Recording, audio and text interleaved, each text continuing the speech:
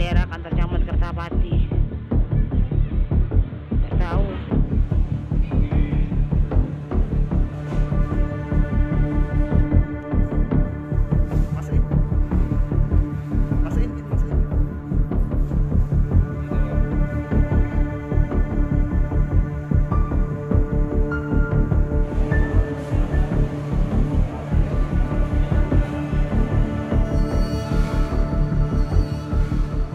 Pemeriksaan jenazah seorang laki-laki ya dengan perkiraan usia kurang lebih uh, 25 tahun ke atas.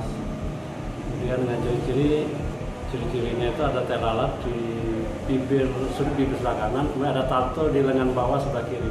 Perkiraan meninggal uh, kurang lebih uh, 12 jam ya, masih di bawah 12 jam.